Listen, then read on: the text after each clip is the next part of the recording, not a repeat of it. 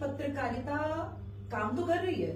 बहुत सारे लोग काम अच्छा कर रहे हैं। लेकिन कहीं ना कहीं, जैसे सर ने कहा कि पत्रकारों के बच्चों को वो समय नहीं दे पाते हैं तो उन लोगों को भी और बाकी जितने स्टूडेंट्स तक हमारा ये मैसेज पहुँचे, जितने लोग हमें सुने, कहीं ना कहीं ज़रूरत है पूरे समाज में एक जागृति की।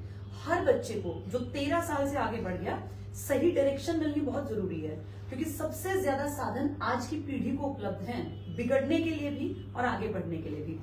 जिस दौर में हम लोग जन्मे थे, आज से 40 साल पहले तो इंसान के पास बिगड़ने का बहुत रास्ते नहीं थे। ठीक है, बहुत लोग 19 20 में जाके 22 23 में जाके, अब जब पैसा कमाने लगते हैं तो ठीक है, कुछ गलत रास्ते पकड़ लेते हैं, कुछ बहुत छोटा सा प्रतिशत था।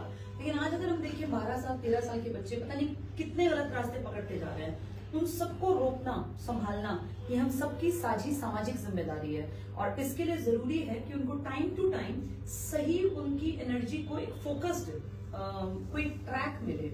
जैसे जितने लोग बड़े हैं, जितने लोग अनुभवी हैं, उन सबकी पहुँच भी बच्चों तक होनी चाहिए। अब जैसे आप लोग हैं, जितने लोग इस सभागार में बैठे हैं, आप लोग बहुत समृद्ध हैं। आप लोगों ने बौद्धिक विकास पे बहुत ज़्यादा काम किया। आज की जो पीढ़ी है, उस तक आप लोगों का ज्ञान पहुँचना बहुत ज़रूरी है। और ये काम कर सकते हैं आजकल के जो ये जैसे मैं अपने आप को देखूँ तो बच्चे मुझे सुनते हैं, लेकिन मुझे ऐसा लगता है कि हमें भी बहुत कुछ सीखने की ज़रूरत है। और जिस तरीके से आप लोग अपनी पीढ़ी में काम करते थे, आज वैसे लोग नहीं रह गए हैं। हम लोगों को क्या करना पड़ता है? किताबों का सहारा लेना पड़ता है। बहुत सारी पुरानी चीज़ें निकालनी पड़ती हैं कि पहले लोग क्या सोचते थे, आज की पीढ़ी कैसे बदल गई है। आज की इस युवा पीढ़ी को सही ट्रैक पे रखने के लिए आप लोगों की छत्र छाया में, जैसे जो लोग वरिष्ठ हैं, जिन लोगों का अनुभव बहुत रिच है, समृद्ध है, उन लोगों से हम तक चीज़ें पहुंचेंगी। हम लोग उन चीज़ों को आगे बढ़ाएँ, क्योंकि आप में से ज़्यादातर लोग तो सोशल मीडिया से उतना कनेक्टेड नहीं है। तो हम लोग चाहते हैं, जैसे मैं बीइंग टीचर फील करती हूँ कि हम लोगों तक भी आप लोगों के कुछ इस तरह के माध्यम हो, जो आप लोगों की रिच चीज़ें हम तक पहुँचे। आज एक वैक्यूम क्रिएट हो गया है इस सोसाइटी में। बच्चा ऐसा नहीं है कि बिगड़ना चाहता है। हर बच्चा चाहता है एक अच्छी ज़िंदगी जिए, एक बहुत बेहतर भविष्य मुझे मिले।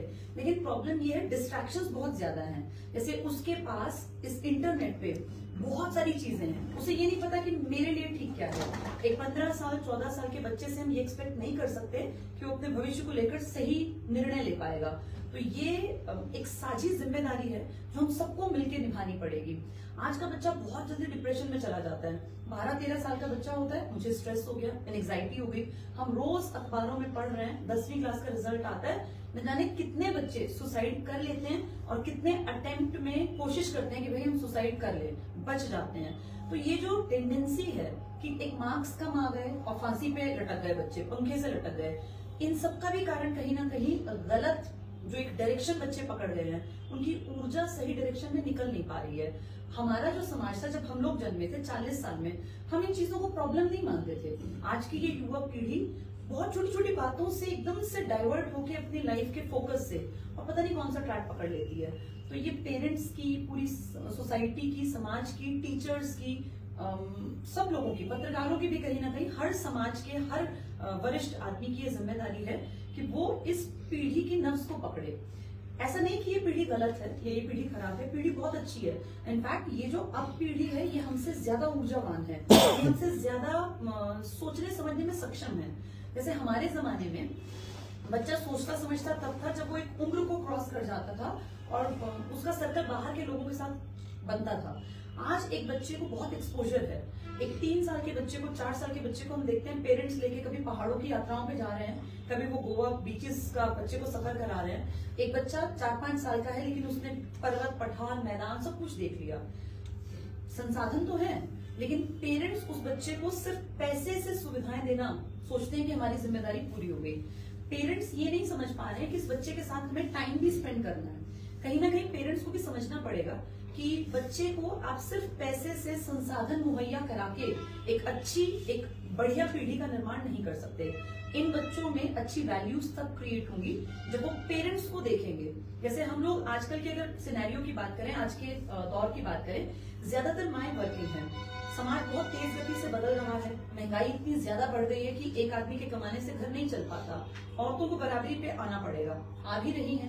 आज समाज का एक बड़ा हिस्सा औरतों का कमाई करता है। लेकिन उस कमाने की दौड़ में, उस भूख में पैसे की में कहीं ना कहीं हमारे सामाजिक मूल्य, हमारे पारिवारिक मूल्य दब गए हैं। माए बचपन से ही बच्चों को आया के पास छोड़ के या मेड्स के पास छोड़ के और अपना ऑफ़िस वर्क पे निकल जाती हैं। उनकी भी एक कहीं ना कहीं आप कह लीजिए मजबूरी है।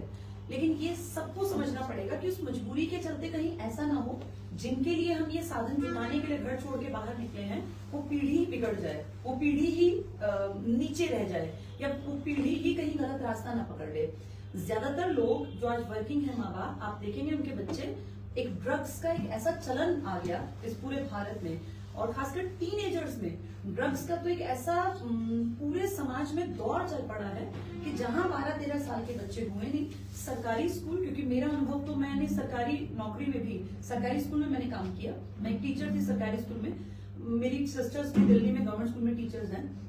हम सब बैठ के डिस्कशन करते हैं कि पीढ़ी किस तरफ़ जा रही है कई बार तो लगभग हर सरकारी स्कूल में ड्रग्स की एंट्री हो चुकी है। प्राइमरी स्कूल में पांचवी क्लास से लेके और जो बड़ी क्लासेस हैं बारहवीं तक, हर बच्चा लगभग लगभग जानता है। इनफैक्ट स्कूल के आसपास, उनके घर के आसपास ही इस तरह की चीज़ें, नाम वो कुछ और लिख देंगे लगेगा कुछ इस तरह की चीज़ें, लेकिन वो बेसिकली नशा बिक रहा है।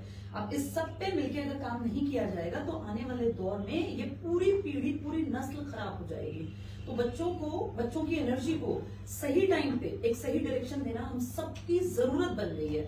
जैसे पहले एक सामाजिक दबाव होता था, बच्चा शर्माता था, भाई घर में बड़े बुज़ुर्ग हैं, मुझे कुछ चीज़ों का ध्यान रखना है, मेरे प्रिंसिपल्स हैं। लेकिन आज क्या हुआ? आज पीयर प्रेशर बच्चे के पेरेंट्स से ज़्यादा है, हावी। पीयर प्रेशर हमारे टाइम में भी था, लेकिन हमें लगता था कि पीयर प्रेशर हमारे दोस्त कुछ भी कहें, उस जमाने में क्या था कि चार लोग हैं एक बच्चा बिगड़ा हुआ है, तीन सुधरे हुए हैं, वो तीन मिलकर उस एक को भी सुधार लेते थे।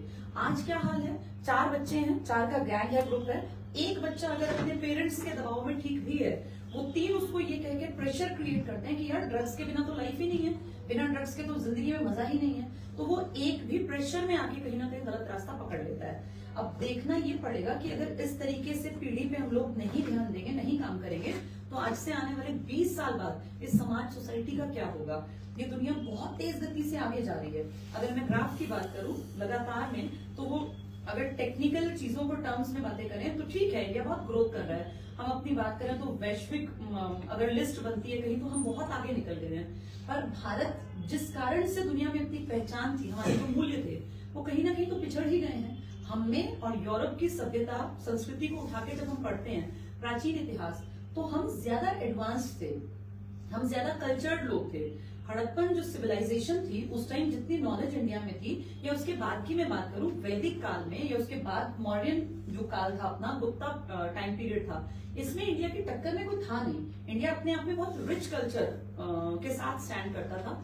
जो मेडिएवल पीरियड रहा, उसमें ठीक है, कुछ चीज़ें आई, कुछ चीज़ें अच्छी रही, कुछ चीज़ें खराब हुई, पर फाइनली अगर मैं आज की बात करूँ तो आज सोशल वैल्यूज़ फैमिली वैल्यूज़ और जिसको मुझे कहना चाहिए कि इंसान की अपनी जो मोरालिटी थी, वो कहीं ना कहीं ग्राफ अगर देखेंगे तो लगातार नीचे की तरफ़ जा रहा है।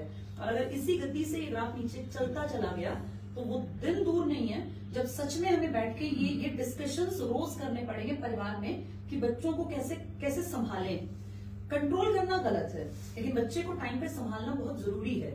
आज की इस युवा पीढ़ी को टाइम टू टाइम हमें एक सही डायरेक्शन देनी पड़ेगी ताकि अपनी ऊर्जा को वो सही दिशा में भटकने से बचे रहें और अपने आप को ये देखते चले कि एक ह्यूमन बीइंग के रूप में मेरी क्या ज़िम्मेदारी है। जैसे आप लोग तो बहुत वरिष्ठ हैं, आपके जमाने तो अलग ही थे, उस दौर में तो बहुत ज़्यादा सुंदर समाज था। देखिए, ऐसा नहीं है कि समाज हमेशा से परफेक्ट रहेगा परफेक्ट जैसा कोई टर्म है भी नहीं। कोई भी इंसान परफेक्शन का काम नहीं कर सकता और समय हमेशा गतिशील है, बदलता रहेगा। आज टेक्नोलॉजिकली हम देखें चीज़ें बहुत अच्छी हैं, लेकिन अगर बात करूँ मानवीय मूल्यों की तो ये सब बहुत पीछे रह गया। उसके लिए हमारी पीढ़ी को काम करना पड़ेगा और शिक्षा जगत से जोड़ के ही दोबारा से मानवीय मूल्यों को हम पैदा कर सकते हैं।